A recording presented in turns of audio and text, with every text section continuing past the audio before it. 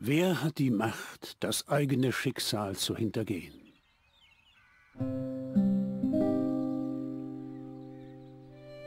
Solange die Götter über das Schiff der Zeit wachen, bleibt eines doch immer gewiss. Satinavs Ketten reißen nicht. Es waren gute Tage für das verträumte Andergast. Ein Frieden mit dem Erzfeind Nostria war in greifbarer Nähe. Ein Besuch der nostrischen Königin stand kurz bevor. Im Zuge der Feierlichkeiten hatte der König die jungen Andergaster zu einer heiteren Queste aufgerufen.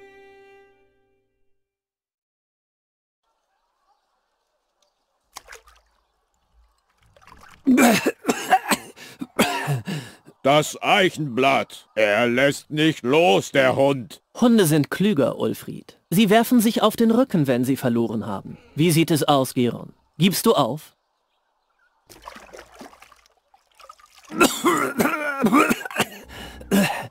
Lass ihn mal zu Wort kommen.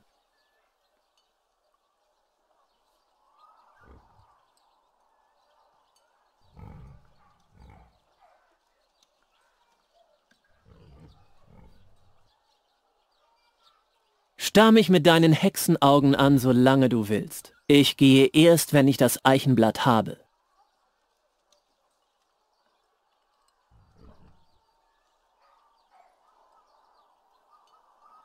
Ich wär...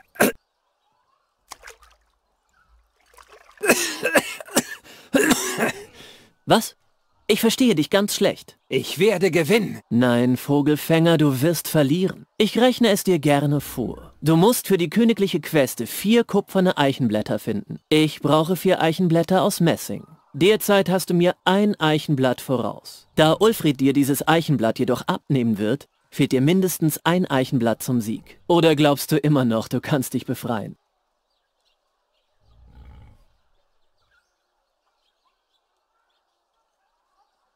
Mein Hammer! Lass ihn doch. Gib doch einfach auf, Vogelfänger!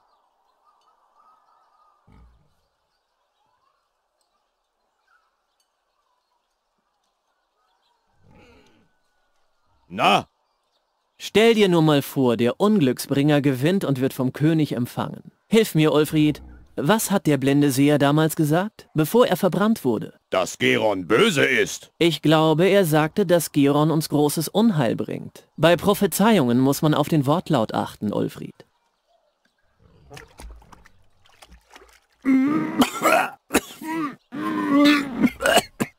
Und wenn Geron uns verflucht, es heißt, er hat eine dunkle Gabe. Unsinn.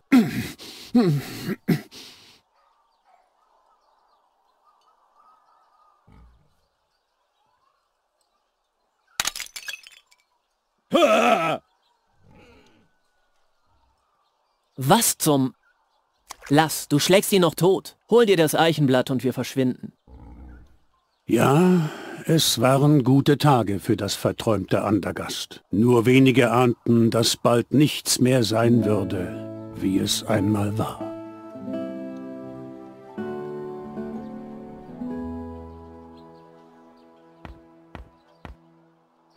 Der gute Käfig. Lass ihn dort stehen. Ich repariere ihn später.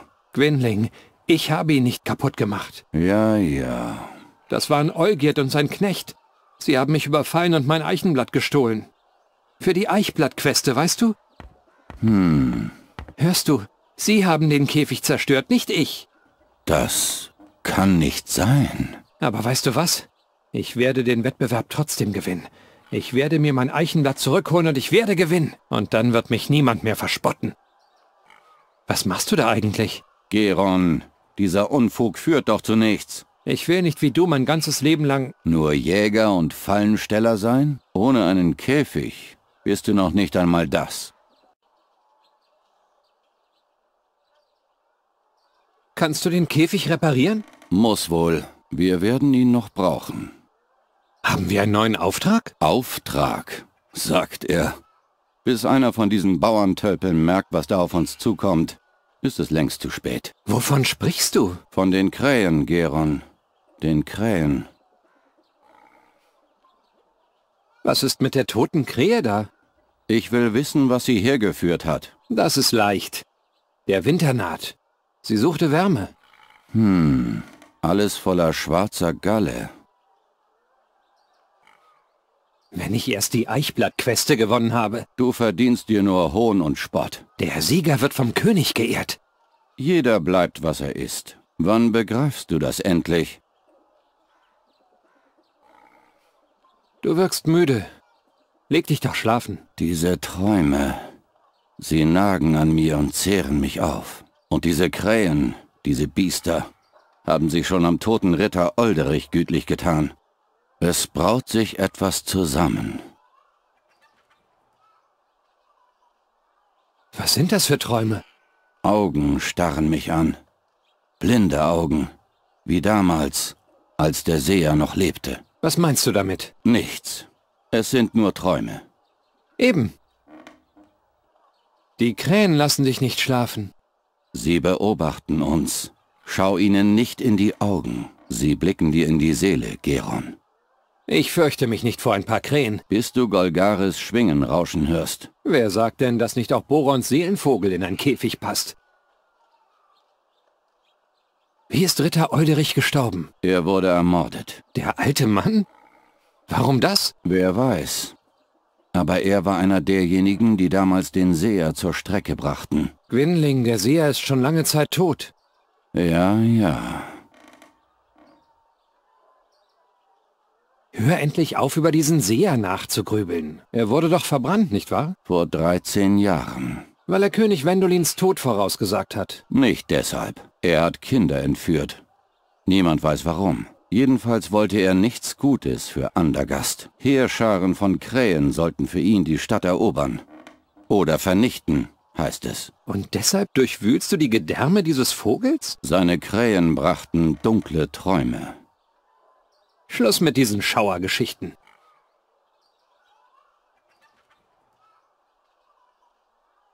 Hilfst du mir nun bei der Eichblattqueste? Verschon mich mit deinen Albernheiten. Ich habe Wichtigeres zu tun. Deine Krähen sind auch morgen noch da. Die Queste ist nur heute. Hilfst du mir nun bei der Eichblattqueste? Verschon mich mit deinen Albernheiten. Ich habe Wichtigeres zu tun. Deine Krähen sind auch morgen noch da. Ich muss los. Die Konkurrenz schläft nicht.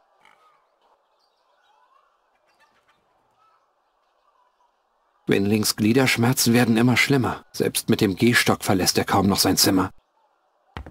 Ich leihe mir einmal deinen Gehstock.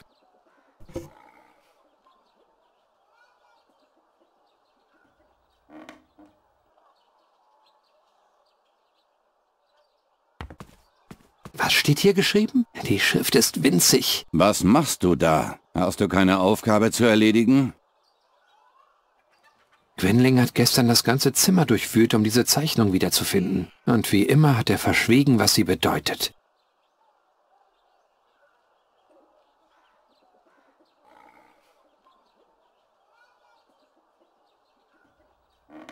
Er ist vollkommen übernächtigt. Diese Albträume plagen ihn seit Tagen. Ich fürchte, allmählich verliert er den Verstand.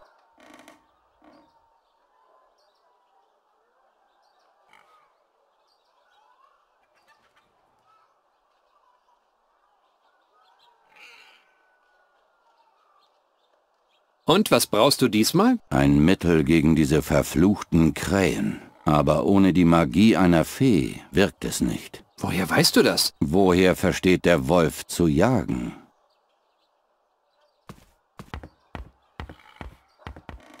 Du sollst die Finger davon lassen. Zerbrichst es nur wieder. Das wird Olgierd büßen. Seid ihr beiden nicht befreundet? Seit über zehn Jahren nicht mehr.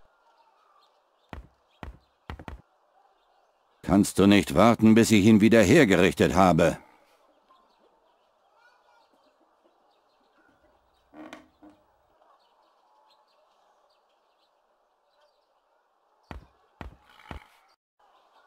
Ich muss mein drittes Eichenblatt von Olgierd zurückbekommen. Außerdem muss ich zum Burgtor und mir beim Haushofmeister das letzte Rätsel für die Queste abholen. Zwei Eichenblätter habe ich. Das dritte hat Olgierd und das vierte ist noch versteckt. Dann los.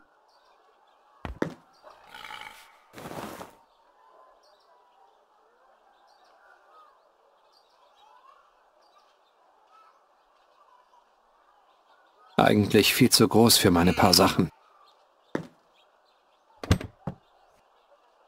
Ich habe seit Jahren nicht mehr gespielt.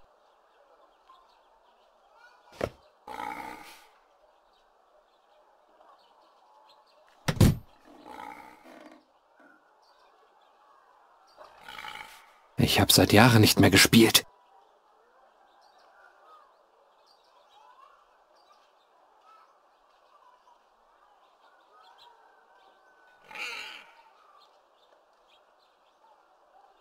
Irgendwann werde ich einmal ein richtiges Katapult bedienen. Der Frieden mit Nostria wird schließlich kaum von Dauer sein. Das Spanngarn ist durchgefault. Viel zu viele unerledigte Dinge.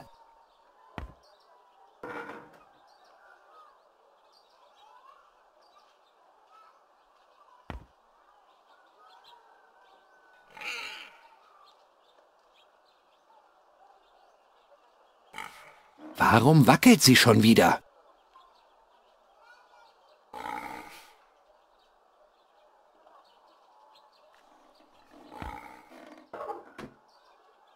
Jendrichs Vater hat das für mich geschmiedet, als Jendrich und ich noch befreundet waren. Schon wieder lose, aber darum muss ich mich später kümmern. Ihr Bild verwischt mehr und mehr. Ich habe kaum noch eine Erinnerung an sie. Ich schaffe das. Ihr werdet sehen. Es laufen gerade einfach nur ein paar Dinge schief.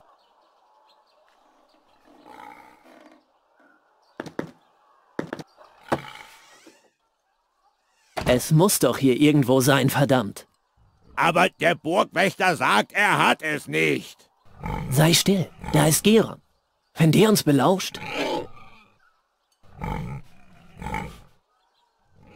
Die durchtriebensten Schweine des Königreiches. Immerhin lässt der Schustermeister sie nicht mehr frei umherlaufen. Warte nur, Färbersohn. Um mich zu besiegen, braucht es mehr als einen gekämmten Schopf. Ohne Eugierd ist der Knecht eigentlich ganz freundlich. Nicht zu mir natürlich. Ein einziges Seil für all diese Fässer.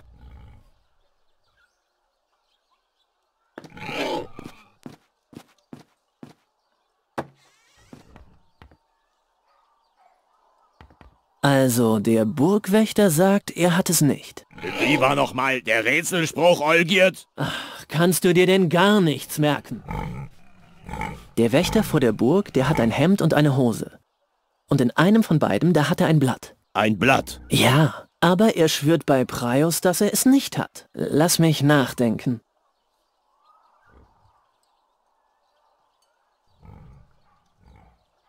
Diese Bresche wurde im Krieg der Tränen von einer Handvoll Andergaster gegen ein Heer von Nostrian verteidigt. Für den Wiederaufbau fehlte wohl das Geld.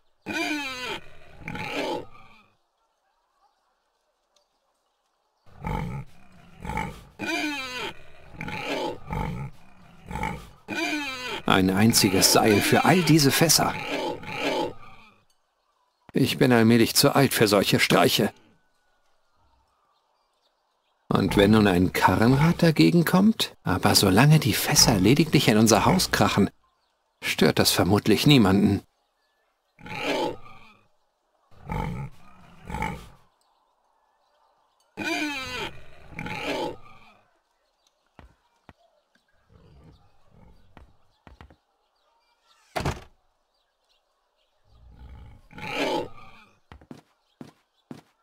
Ich bin allmählich zu alt für solche Streiche.